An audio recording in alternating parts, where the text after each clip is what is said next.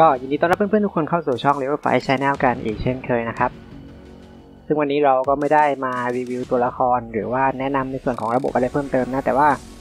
เราจะมาเปิดในส่วนของตู้กระชาของเจ้าโทคินาดะเนี่ยแหละ พอดีว่าตอนแรกที่ผมจะหาโทคินาดะใช่ไหมแต่มันมาตั้งแต่สเต็ปแรกเลย แต่ก็ไหนๆก็ไหนๆแล้วก็อยากจะลองมาเปิดดูสักสิบสเต็ปละกันเผื่อว่าในส่วนของตัวหน้าตู้อย่างบารากันกับฮาริเบลก็ จะออกมาด้วยนะครับ ก็เดี๋ยวไปดูกันเลยนะก็ก่อนจะไปดูในส่วนของการสุ่มกระชาเดี๋ยวผมก็จะพาไปดูในส่วนของตัวละครทั้งหน้าตู้แล้วก็หลังตู้ของกระชาตู้นี้กันก่อนนะครับ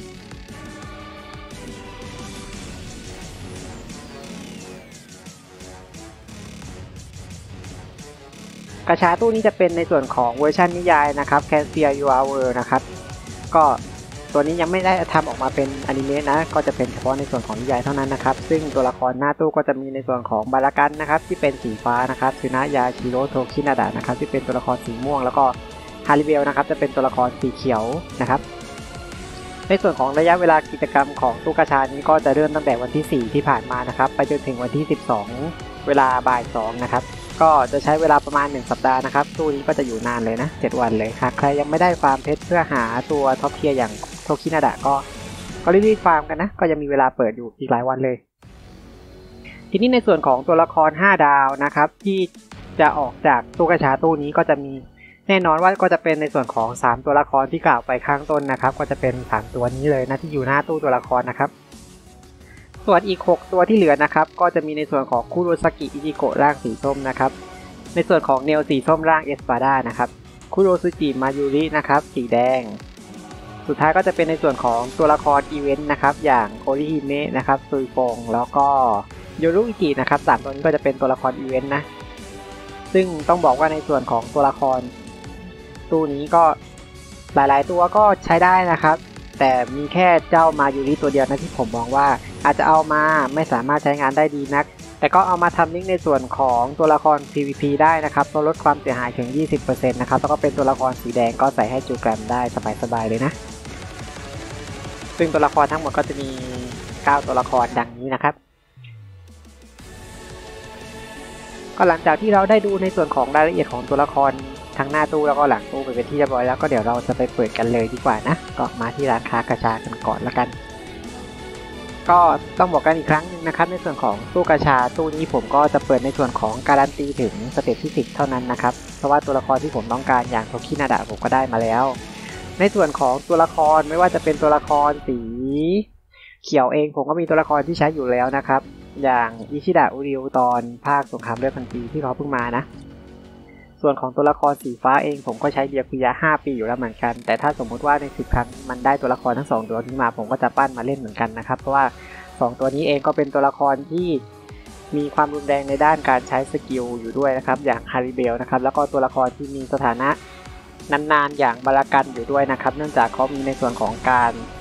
ติดสถานะอ่อนแอทุก skill เลย แล้วก็ในส่วนของ ability ของเขาเองก็เพิ่มระยะเวลาให้กับสถานะผิดปกติทุกอย่างของเขาเพิ่มขึ้นอีก5วินาทีนะครับ ก็เราก็จะไปเริ่มในส่วนของ step ที่ 2 กันเลยนะครับ ก็ไปไปเลยกันเลย อย่างน้อยก็การันตี 2 ตัวก็ขอให้เป็นตัวละครหน้าตู้สักตัวหนึ่งละกันนะครับ แต่ถ้าหากได้โทคินาดะซ้ำมาอีกก็จะดีมากเลยนะ จะได้เอามาเบิกเนตตัวละครเพิ่มให้มันสักหน่อยหนึ่งซึ่งการกดสเต็ปที่ 2 ผีเสื้อก็ก็เจ๊งไปอีกเป็นที่เรียบร้อยนะครับ ก็ ดี๋ยวจะไม่ดูแล้วกันนะก็จะกดสคิปข้ามไปอย่างที่เคยทำเลยแล้วกันนะครับ จะได้เป็นการเสียเวลาแล้วก็คลิปจะได้ไม่นานเกินไปนะ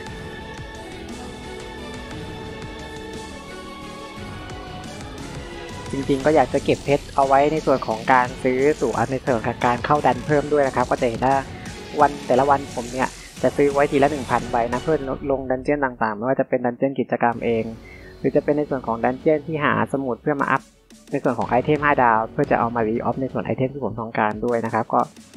ยังมีอีกหลายๆอย่างเลยที่ผมอยากจะทำนะครับ แต่ไม่เป็นไรนะ ก็ไหนๆกระชานมาแล้วก็เปิดให้ครบไปเลยนะครับ step เดี๋ยวครั้งที่3ก็ไปต่อกันเลยนะ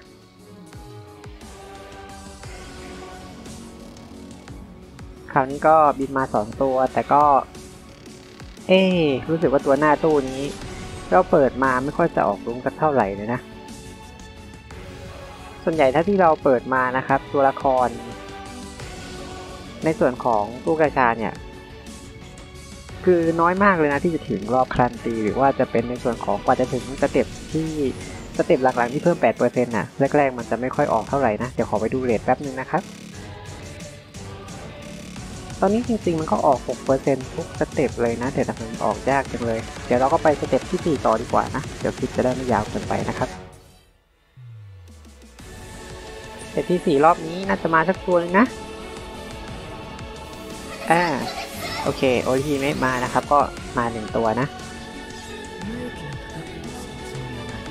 เอ้ยเหมือนเป็นเสียงฮาริเบลเลยปะโอเค อย่างน้อยตัวละครหน้าตู้ก็มาแล้วนะครับหนึ่งตัวก็เป็นฮาริเบลนะครับ ตัวละครตัวสีเขียวนะ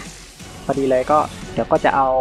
ปั้นมันมาใช้เหมือนกันนะครับ เพราะว่าตัวละครฮาริเบลตัวเนี้ย ในการเพิ่มความเสียหายของการโจมตี skill ของเขาก็ถือว่าแรงมากๆนะครับรวมไปถึงถ้าไม่ตายด้วย เดี๋ยวยังไง ในคลิปต่อไปผมก็จะมารีวิวตัวละครตัวนี้ด้วยแล้วกันนะครับไหนๆก็ได้มาละ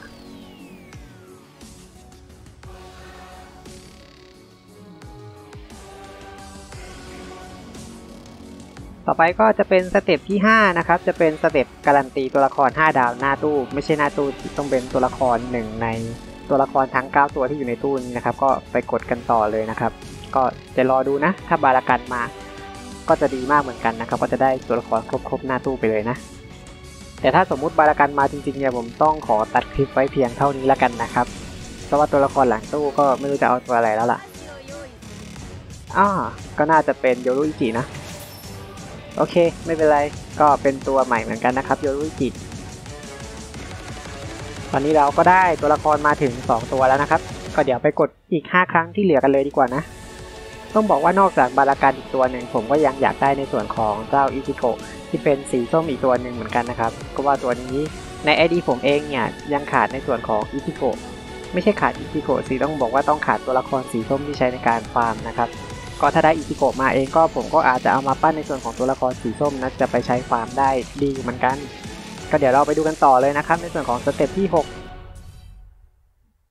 เหลืออีก5 step สุดท้ายนะครับ ถ้าในส่วนของการเปิดอีก 5 ครั้งเนี่ยถ้ามาทั้ง 5 รอบเลยก็จะดีมากเลยเนี่ย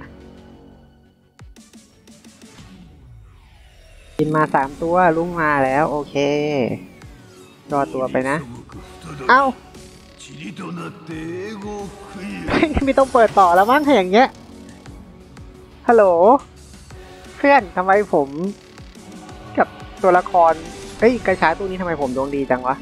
ตอนเปิด 5 ปีผมโดนไป6,000 กว่าเลยนะกว่าจะได้ตัว 5 ตู้ครบเนี่ย แล้วไหนจะเป็นในส่วนของไอ้นี่อีก ในส่วนของฮัสวาลอีกผมก็โดนไป 3,000 กว่ากว่านะกว่าฮัสวาลกับอิชิดะจะมาเนี่ย แล้วแล้วทำไมในส่วนของตู้นิยายแคนเซียยูอาเวอร์ตู้นี้เนี่ยมันมันมาให้ผมครบทุกตัวเลยว่าหน้าตู้เนี่ยหรือผมต้องจบคลิปไว้แค่นี้แล้วอะโอ้โห ไม่น่าเลยวะเฮ้ย โอ้โหแบบอะไรวะเนี่ย ตอนแรกก็กะว่าจะไม่ให้คลิปยาวเกินกลายเป็นว่าคลิปสั้นเกินไปซะงั้นเนี่ย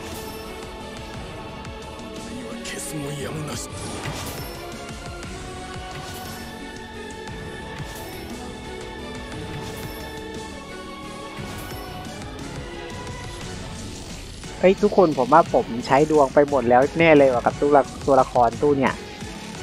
แล้วเดี๋ยวถ้าสมมุติว่าตู้หน้ามาที่เป็นในส่วนของไอเนี่ยเท้าสั้นเยียบลัดวอลเนี่ย ถ้ามันมาเนี่ย แล้วผมอยากได้ในส่วนของปู่ยากมาล่างบางใครขึ้นมา แล้วมันเปิดไม่มาขึ้นมาจะทำไงวะเนี่ย โอ้โห โคตรแย่เลยวะเดี๋ยวดวงผมหมดแล้วแน่ ๆ เลย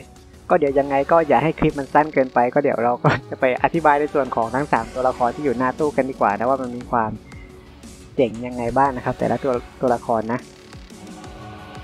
ก็ในส่วนของตัวละครหน้าตู้นี้เดี๋ยวผมก็จะพูดในส่วนของความสามารถพิเศษคร่าวๆของมันของแต่ละตัวละครละกันนะครับ ก็จะพูดโดยรวมเลยว่าตัวละครแต่ละตัวเนี่ยมันความเก่งอย่างไรบ้าง ในส่วนของรายละเอียดจาะลึกของแต่ละตัวละครผมก็จะทำในส่วนของคลิปแยกในการรีวิวตัวละครอีกทีหนึ่งนะครับ ก็มาเริ่มกันที่โทคินาดะก่อนละกัน ซึ่งในส่วนของโทคินาดะนะครับ ก็จะเห็นว่าในส่วนของพลังโจมตีพลังชีวิตนะครับ ของเขาก็จะสูงมากเลยนะ แต่ในส่วนของพลังป้องกัน แล้วก็ค่า critical เองก็จะอยู่กลางๆนะครับ ส่วนค่าพลังวิญญาณเองก็ถือว่าอยู่ในระดับที่น้อยอยู่นะครับ 600 เนี่ย เพราะปกติตัวที่ใช้ skill เก่งๆ ก็จะอยู่ที่ 800 กว่าๆเลยนะนนอกจากนี้เขายังเป็นตัวละครในส่วนของประเภทไร้สังกัดนะครับ แล้วก็มีธาตุตัวละครที่เป็นสีม่วงนะครับทำให้ตัวละครตัวนี้มีความโดดเด่นในการใช้งานมากขึ้นเนื่องจาก killer ประเภทไร้สังกัดเนี่ย ตัวละครหลาย ๆ ตัวมีน้อยมากนะครับ แล้วอย่างเขาเป็นสีม่วงเนี่ยตัวที่แพ้ทางก็จะมีแค่สีเหลืองเท่านั้นนะครับ หรือสีส้มนะครับ ตัวละครของเขามีความสามารถในการสังหารยมทูตนะครับ ก็เพิ่มความเสียหายให้กับยมทูตอีก 20%นะครับ ส่วนคุณลักษณะของ soul ก็จะเพิ่มความเสียหายของการโจมตีปกติ 25%นะครับ ความสามารถพิเศษของโทคินาดะก็คือเขาจะมี skill 2ชุดนะครับ เมื่อใช้ท่าไม้ตายก็จะเปลี่ยน skill ไปอีกชุดนะครับ บวกถึงตัวละครตัวเขาเป็นการโจมตีระยะไกลทั้งหมดทุก skill เลยนะครับ ยกเว้น skill 2ที่จะ buff แล้วก็สร้างความเสียหายรอบๆตัวนะครับ นอกจากนี้ยังเพิ่มในส่วนของที่โจมตีเพิ่มขึ้นอีกนะครับ กลายเป็นการโจมตีแต่ละครั้งเขาจะตีเบิ้ลแล้วก็รวมไปถึงการยกเลิกการของศัตรูนะครับ ก็จะทำให้การเคลียร์ dungeon นั้นไวขึ้นไปอีกนะครับจุดเด่นของตัวโทคินาดะก็จะเป็นตัวละครที่ตีไกลนะครับ ไม่มีตัวละครที่ชนะธาตุนะครับ รวมไปถึงในส่วนของผู้สังหารเองเขาก็มีตัวละครที่จะแก้ทางเขาน้อยมากทำให้ตัวละครตัวนี้เหมาะในการเล่นเป็นการเป็นตัวละครที่ใช้การโจมตีปกติเป็นหลักนะครับ ในส่วนของตัวละครที่ 2 ก็จะเป็นฮาริเบลนะครับฮาริเบลเป็นตัวละครประเภทอารันคา แล้วก็เอสปาดาที่มีหมายเลขนะครับ ในส่วนของพลังชีวิตก็จะน้อยกว่าโทคินาดานะครับรวมไปถึงพลังโจมตีเอง ก็น้อยเหมือนกันนะครับ ส่วนค่า defense และค่า critical เองก็น้อยกว่าเหมือนกันนะครับ แต่ในส่วนของค่าพลังวิญญาณก็สูงถึงเกือบ 800 เลยนะครับ ก็อยู่ที่ 794 ผู้สังหารก็จะเป็นผู้สังหารอารันคาเหมือนกัน เอ๊ะเดี๋ยวนะมึง ทั้งๆที่เป็นอารันคาแต่ก็ดันสังหารอารันคาด้วยกันเนี่ยนะ ก็ไม่เป็นไร ในส่วนของคุณลักษณะของโซก็จะลดคูดาวเร็วขึ้น 12%นะครับ ถัดมาในส่วนของการโจมตีของฮาริเบลนะครับ ทุกๆ การโจมตีก็จะเป็นการโจมตีความเสียหายระยะใกล้ทั้งหมดเลยนะครับฮาริเบลมีความโดดเด่นในเรื่องของการใช้ skill แรงนะครับ เนื่องจากความเสียหายจาก skill แรงถึง 40%นะครับ แล้วก็มีในส่วนของการเพิ่มความเสียหายของท่าไม้ตายอีก 60%นะครับ และยังมีในส่วนของการเพิ่มขอบเขตของ skill แล้วก็ทำให้ skill ทุกๆ skill ของเขาเพิ่มฮิตหรือว่า skill เบิ้ลอีกนั่นเองนะครับนอกจากความแรงที่ buff มาทั้งหมดแล้วเขายังมีในส่วนของ skill 2นะครับที่จะทำให้ buff แล้วก็ได้รับโล่ทุกตัวละครนะครับแล้วก็จะยืดระยะเวลาในการเสริมพลังของโล่ของเขาทำให้นานขึ้นด้วยนะครับต้องบอกว่าในส่วนของตัวละครของฮาริเบลเนี่ยเป็นตัวละครที่เด่นในเรื่องการใช้ skill หนักๆแรงๆเป็นหลักเลยนะครับ ไม่ว่า skill เขาจะกว้างมาก แล้วก็ความ skill ทุก skill ของเขาโจมตีแล้วก็เบิ้ลด้วยนะครับทำให้จำนวนฮิตของเขาเพิ่มขึ้น 2 เท่ารวมถึงความแรงของ skill ของเขาเพิ่มขึ้นถึง 40%นะครับนอกจากนี้ยังมีในส่วนของท่าไม้ตายที่แรงถึง 60%เหมือนกันนะครับ หากใครใส่เทนชินไตแล้วก็อัดในส่วนของ option ที่เป็นในส่วนของ SP เยอะๆ แน่นอนว่าบอสเจอหน้าทีเดียวก็ตายไปได้เลยนะครับ สุดท้ายก็จะเป็นในส่วนของตัวละครของบารากันนะครับ ตัวของบารากันเองก็เป็นตัวละครที่เป็นประเภทอารันคา แล้วก็เอสปาดาที่มีหมายเลขเช่นกันนะครับ และเป็นตัวละครสีฟ้า ค่าสถานะพื้นฐานของเขานะครับ ก็จะมีเลือดอยู่ที่ 1,000 กว่าๆนะครับ โจมตีก็จะอยู่ที่ในระดับที่ต่ำนะครับ ส่วน defense เองกับค่า critical เองก็จะเห็นได้ว่าอยู่ในระดับกลางๆนะครับ ก็สุดท้ายในส่วนของพลังวิญญาณก็จะอยู่ที่ 798 นะครับ พลังวิญญาณก็สูงใช้ได้เหมือนกันนะครับ โดยรวมก็มองจากค่า stat แล้วก็พอๆกับฮาริเบลเลยนะ อีกทั้งยังเป็นในส่วนของผู้สังหารอารันคาด้วยเช่นกันนะครับ ในส่วนของบารากันตัวนี้ ส่วนคุณลักษณะของ soul ของเขาก็จะทำให้ cooldown skill เร็วขึ้นอีก 12%นะครับ รูปแบบการโจมตีของเขานะครับ ทุกๆ การโจมตีก็จะเป็นความเสียหายระยะไกลนะครับ ซึ่งทุกๆ การโจมตีรวมไปถึง skill แล้วก็การโจมตีปกติแล้วก็ท่าไม้ตายเองนะครับ จะทำให้ติดสถานะอ่อนแอ ซึ่งสถานะอ่อนแอมีโอกาสจะติดอยู่ที่ 2%นะครับ ในส่วนของการโจมตีปกติรวมไปถึง skill 1 2 3 นะครับ ระยะเวลาจะอยู่ที่ 2 วินาที ส่วนถ้าไม่ตายก็จะมีโอกาสติดอยู่ที่ 100%นะครับ นานถึง 5 วินาทีเลย ในส่วนของ passive ของบารากันนะครับ ไม่ว่าจะเป็นการโจมตีปกติหรือว่าความแรงของ skill นะครับรวมไปถึงท่าไม้ตายก็จะอยู่ที่ในระดับกลางๆนะครับ นอกจากนี้ยังมีในส่วนของการเพิ่มพิษการโจมตีแรงด้วย ก็จะทำให้ skill ของเรานะครับตีแล้วติดเบิ้ล นอกจากนี้ยังมีในส่วนของการป้องกันสถานะอ่อนแอถึง 100%นะครับทำให้ตัวละครตัวนี้ไม่ติดสถานะอ่อนแอนะ ไฮไลท์ทั้ง 2 passive ของเขาก็จะมีในส่วนของการชุบชีวิตหลังจากความตายนะครับ มีโอกาสชุบถึง 100%นะครับรวมไปถึงเวลาติดสถานะผิดปกติ ของตัวละครของเขาจะทำให้เพิ่มขึ้นอีก 5 วินาที โดยรวมบารากันเองก็เป็นตัวละครที่มีความสามารถในการใช้ skill เป็นหลักนะครับเน้นการออก skill บ่อยๆนะครับถึง skill เขาอาจจะไม่ได้แรงเทียบเท่าของฮาร์ดิเบลเองก็ตาม แต่ในส่วนของ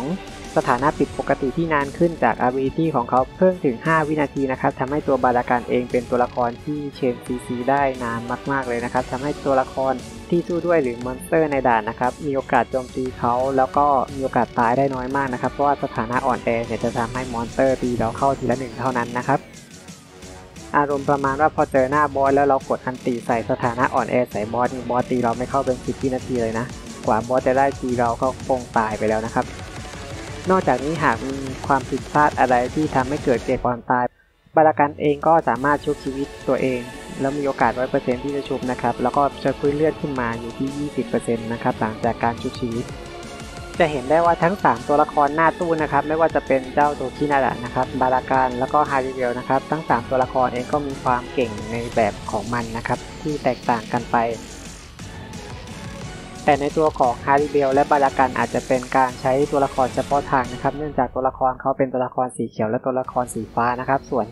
ตัวโทคินาดะนะครับไปได้ทุกที่นะครับ เนื่องจากเขาเป็นตัวละครสีม่วงนะครับ เมื่อเจอ monster ตัวไหนก็ damage เขาเวลาโจมตีก็จะไม่ลดนะครับ แต่หากเจอสีส้ม damage เขาก็จะเพิ่มขึ้นอีก 50%นะครับ แต่ก็จะโดนสีส้มตีแรงถึง 50%เช่นกัน แต่ในส่วนนั้นก็ไม่ได้จะมีปัญหานะเพราะว่าโทคินาดะเองเขาก็monster แทบจะไม่ถึงตัวตัวเขาอยู่แล้วนะครับ อีกอย่างตัวเขายังมีส่วนของการยกเลิกการการป้องกันของศัตรูด้วยนะครับทำให้ตัวเขาฆ่า monster ได้ไวมาก ๆ ก็สุดท้ายแล้วนะครับ ต้องบอกว่าทุกๆตัวละครนี้สามารถใช้งานได้ทั้งหมดนะครับ ไม่ว่าใครจะได้ตัวละครตัวไหนมา สามารถปั้นไปเล่นได้ทั้ง 3 ตัวละครเลยนะครับ ทั้ง 3 ตัวนี้เก่งทั้ง 3 ตัวละครนะครับ ต้องบอกว่าเก่งทั้ง 3 ตัวละครนะครับ แต่ว่าแต่ละตัวก็ใช้แตกต่างกันไปนะครับ ถึงแม้ว่าในส่วนของคลิปเราจะเป็นในส่วนของการเปิดกระชานะครับ แต่ในส่วนของข้อมูลก็ผมก็ทำออกมาเพื่อไม่ให้ขาดข้อมูลนะครับ เพื่อให้เพื่อนๆได้มีความเพลิดเพลินในการดูการเปิดกระชานะครับ ไม่ว่าจะเกลือหรือดวงดีก็ตาม ก็หากใครส่งหน้าผมก็ส่งหน้าได้นะครับ หากใครยินดีด้วยกับผมก็ยินดีด้วยได้นะครับ นอกจากจะได้ความเพลิดเพลินแล้วก็ยังได้มีความรู้จากตัวละครต่างๆหน้าตู้ที่ผมอธิบายไปด้วยนะครับ ก่อนจากกันไปก็ฝากทุกคนที่ยัง ไม่ได้กดติดตามช่องของเรานะครับ ก็อย่าลืมทำการกดไลค์แล้วก็กดติดตามช่องของเราด้วยนะครับ เพื่อเป็นกำลังใจในการทำคลิปใหม่ๆคลิปดีๆคลิปข้อมูลต่างๆ ออกมาให้เพื่อนๆได้รับชมกันต่อเนื่องเลยนะครับ